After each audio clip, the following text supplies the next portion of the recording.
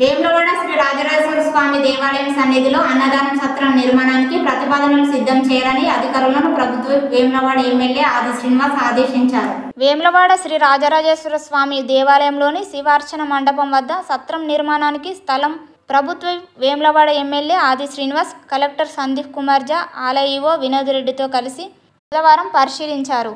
అనంతరం వారు మాట్లాడుతూ బీసీ అండ్ రవాణా శాఖ మంత్రి పొన్నం ప్రభాకర్ తాను ఇటీవల స్వామివారి దర్శనం సందర్భంగా చేసిన ప్రకటనలో భాగంగా ఈరోజు స్థల పరిశీలన చేశామని తెలిపారు.